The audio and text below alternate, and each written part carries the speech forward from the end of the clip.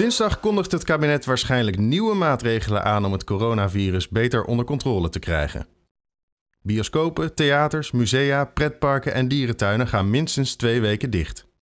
Verder mogen mensen buiten nog maar met z'n tweeën samenkomen. Op de markt in Beuningen vroegen we wat mensen vinden van deze ingrepen. Mijn mening is, uh, nou ik vind het wel goed.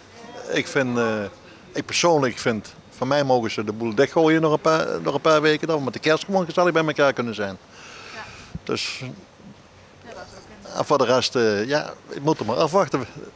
Ze doen er niet in mij te passen. Ik denk dat iedereen er last van heeft. Hè? Op zich vind ik het best wel goed, want we zitten natuurlijk wel in een moeilijke tijd. Dus dat betekent dat we ook moeilijke dingen moeten doen. En als we helemaal niks doen, dan wordt het één grote chaos. En dan zitten we zo meteen allemaal ziek thuis. Ja, voor de gezondheid van de mensen vind ik goed. Ja, want uh, als het moet, dan moet het.